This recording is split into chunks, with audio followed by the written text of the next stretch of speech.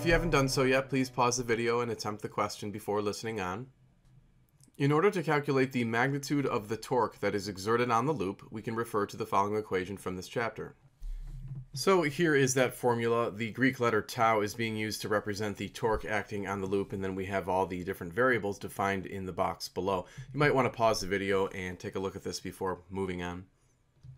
Most of the quantities in the formula in this particular question are relatively straightforward because they're stated in the question. So for example, B being the magnetic field was stated as having a value of 0.8 Tesla. I is the current in the loop and that was stated as being 1.2 amps.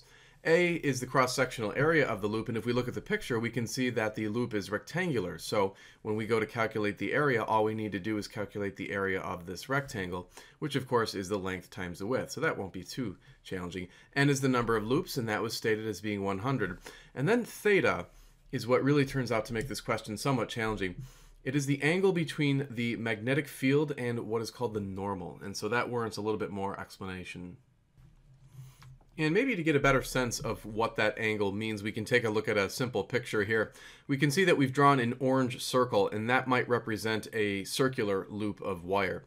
The normal turns out to be a straight line that passes directly through the center of the loop and is perpendicular to the plane of the loop. So a key idea is that the normal line is perpendicular to the plane of the loop. And then what we've drawn here is a green vector that would represent a magnetic field. And when we use the angle in this equation, we always want to use the angle that's between this imaginary normal line and the magnetic field vector. So right there would be our angle. And so the challenge would be to look at this picture and determine the value of that angle, and that's what we'd like to discuss next. So here is the diagram. We've taken off the labels for the lengths of the sides just to provide some clarity. And then there is a red line that's projecting right through the center of the loop and is perpendicular to the plane of the loop. Hopefully that's evident from the picture here. We've also included a magnetic field line that's pointing along the positive x direction. We remember the question actually states that the magnetic field is indeed directed along the x-axis. So what we would next want to note is that the angle from here to here would be a 90 degree angle, and hopefully that's clear from the drawing. They stated that this angle was 30 degrees, so now we just have to ask ourselves, what's the angle between the normal and the magnetic field vector? That's going to turn out to be theta, and we can see from the diagram that it's going to turn out to be a 60 degree angle. So when we plug in for theta into the formula, we must make sure to put in 60 degrees as opposed to 30 degrees. And that was the challenge of this question. Everything else is indeed in standard units. So at this point, it's just a matter of plugging in all the known values. Note again that for the area A, we simply did the length times the width because the loop was a rectangular loop of wire and the area of a loop would be its length multiplied by its width. And when we compute this, we should end up with approximately 9.98 newton meters for the torque acting on the loop. And then as for the direction, we can refer to the right-hand rule number one. But before doing that, let's notice that the current is traveling in the direction shown by this purple vector. We can assume that once the current reaches this bend in the loop, it's going to turn and go down the section of the loop this way.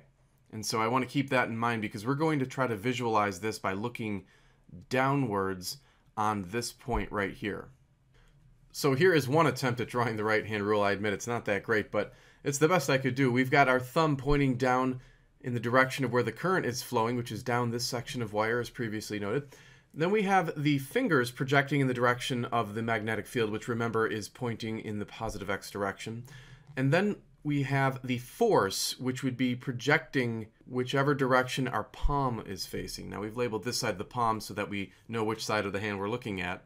And so in this case, the direction that the palm of the hand would be pushing, so to speak, would be that way. So we can see that's going to tend to push the loop in this direction. And as a result, the loop is going to move in a clockwise direction. So again, if we were looking from above, we would see the loop rotating in a clockwise fashion. So we can say clockwise as viewed from above.